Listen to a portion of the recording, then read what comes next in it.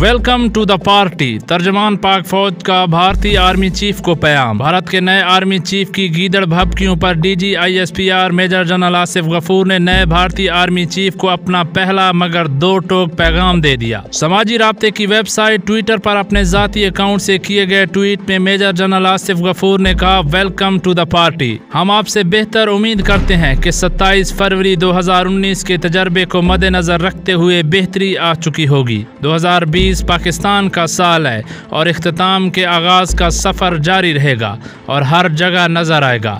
انہوں نے کشمیر از پاکستان اور پاکستان زندہ باد کے ہیش ٹیگز بھی استعمال کیے۔ واضح ہے کہ بھارت کے نئے army chief lieutenant general Manoj Mukund Naravane نے اپنا عہدہ سنبھال لیا۔ سبق سبکدوش ہونے والے army chief general Bipin Rawat Bharat کے پہلے چیف آف ڈیفنس اسٹاف بن گئے۔ بھارتی حکومت نے حالات کا بہانہ بنا کر آرمی چیف کی توسیع کا معاملہ نمٹا دیا تھا۔ بھارتی حکومت نے آرمی ایکٹ میں ترمیم کر دی تھی۔ آرمی ایکٹ میں ترمیم کے بعد جنرل بپن راوت کی چیف آف ڈیفنس اسٹاف بن کرنے کی راہ ہموار ہو گئی تھی۔